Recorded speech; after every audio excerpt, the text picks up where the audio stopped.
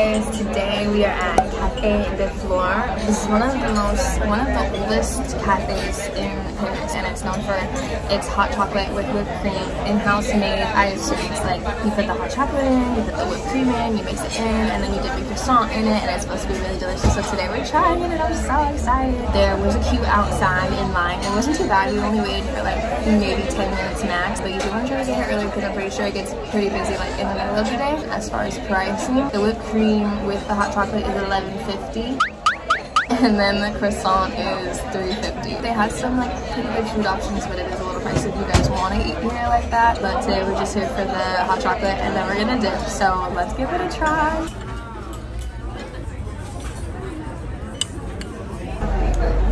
Takes like twice and you dip it. Mm, it's sweet. Put whipped cream? Yeah. Mm, that is good. Whoa. That's some good ass hot chocolate. Okay, what is your review of Cafe de Flore? Cafe de Flore. Gets a good eight. Eight? Okay. Seven and a half. Eight. Honestly, I would say it was pretty good. I would say like a nine. Um, a lot of I was reading a lot of the reviews and people were saying that it was like really overhyped and like there's better hot chocolate places which we have yet to discover. But I feel like it was really good, honestly. And the croissant was just so good. The croissant was perfect. Definitely worth a visit. I feel like it's probably like a one-time thing though because it came out to thirty dollars for just like four items and that's a little absurd. but you know you're paying for the experience, the history, the ambiance, whatever. So it was cool. I would definitely say to go if you guys are ever here. And it's a cute little photo op area too, which is very aesthetic in there. So.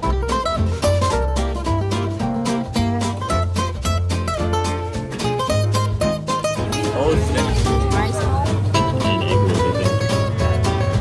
This one. shrimp. I am gonna get some strawberries. I feel like I haven't had a single ounce of fruit in like four, three weeks. Um, my body is, here. No, I'm looking at the My body is crying. I need fruit. Oh, what's this one? But they also have sushi, which sounds bomb. I feel like I haven't had sushi in forever. Shut up. Ooh, that looks good. Look at that. So many veggies though. Oh, salmon with rice?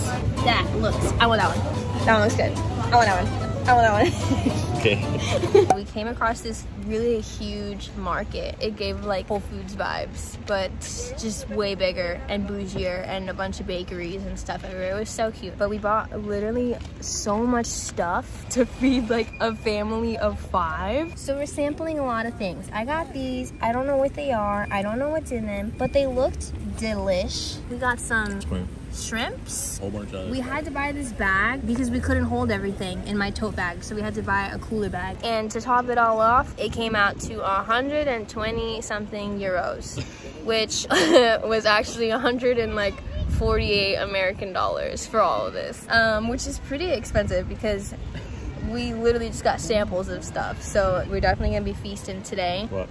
Look at that! It flies! Oh my god. We're gonna need a big appetite because we're gonna be going to the Chateau de Versailles today, which is about an hour away from Paris. But we're gonna grab some lunch first and then we're gonna head over. We have an entry ticket for 3.30. Cheese beef stick.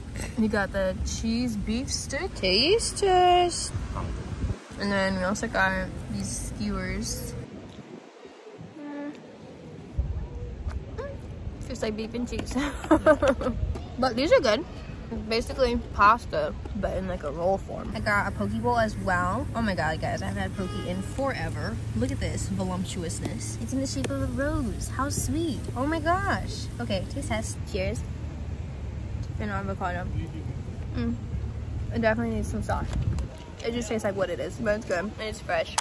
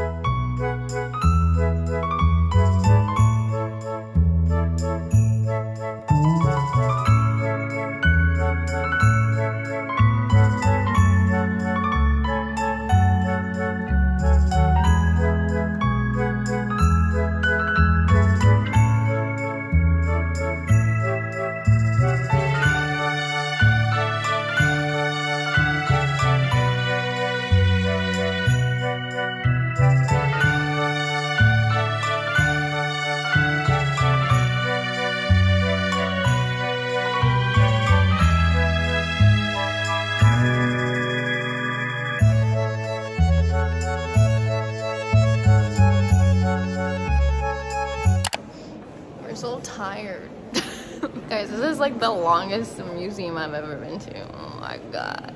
But it's so pretty though, but it's really long. And I'm wearing the wrong shoes 1000% so we just finished walking around the palace and it was so so beautiful it took so long it's huge guys. Like the garden itself we went to the garden before we went into the actual palace and the gardens were huge. You honestly could spend like a lot of time in there if you plan accordingly and if you want to. Like you could just chill in there eat some food have a little picnic. They have like a lake. You can do like boat rides.